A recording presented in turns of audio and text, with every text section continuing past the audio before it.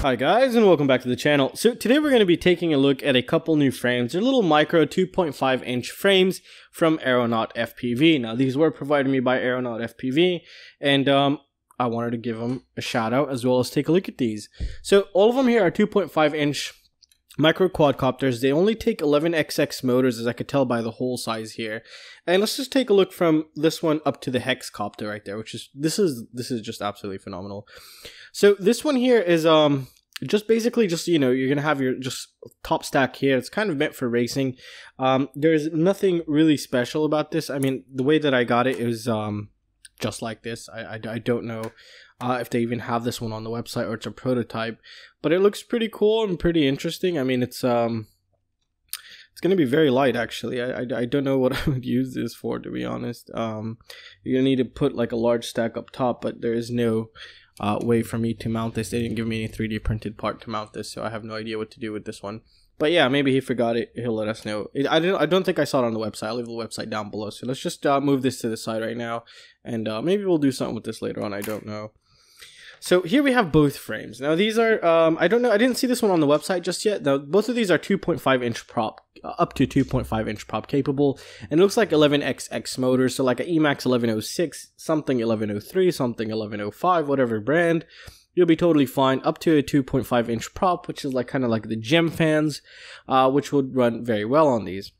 Now the structure here, the carbon's actually pretty tough for for uh, for being for just this is very nice to see. I really like it. I didn't expect it this uh, tough here. Uh, does have some flicks here and there, but nothing too major. It's a, I believe this is three three millimeters thick, and uh, the upper plate here is a 3D printed TPU. As you can tell, it's very flexible, and it's held. You know, it's adding some extra structural integrity with some nylon standoffs in the middle. You would just add here. Now he does provide you with everything here, and uh, in the front here, you see it like this because the camera would go in there and it would add the extra structural integrity here.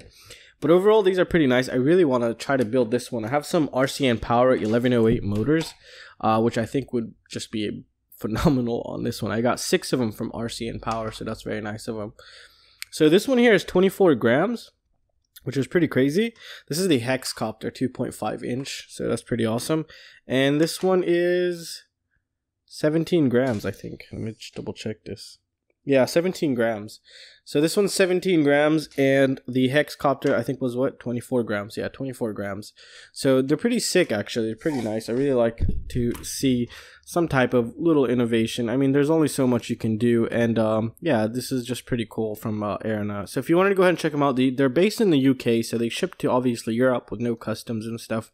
So it's very cool for Europe, and I believe they do have fast shipping for the USA. I'm not really sure, but I'm I'm pretty sure they do. But um, yeah, because the UK has the best uh, postal services out there, so they have some pretty sick uh, options for sending stuff, which is very nice. So overall, that's really it, guys. That's gonna conclude it for this video, guys. I just wanted to make a little shout out and just check out a couple of their frames. I don't know when I'll be building up. I'm not gonna make any promises because I still have a lot of things to finish right now. And um, overall, this is you know they're very innovative and they try to do some crazy cool stuff. They do some feather light quads. We've built one which was like insanely light. It's just crazy. So i'll leave a link down to link leave a link to the website down below and go ahead and check them out. And um, yeah that's it guys. I really hope you guys enjoyed it. And uh, please consider joining my patreon. It really helped this channel keep going. And um, things have been kind of getting a little um, yeah but yeah so please consider joining my patreon. You get awesome things. I do a lot of giveaways and uh, awesome little secret shop access and stuff where i sell my stuff for completely cheap and you get discounts and crazy stuff. So that's gonna conclude it for this video guys and i'm gonna let you go and i will see you next time. See you guys. Take care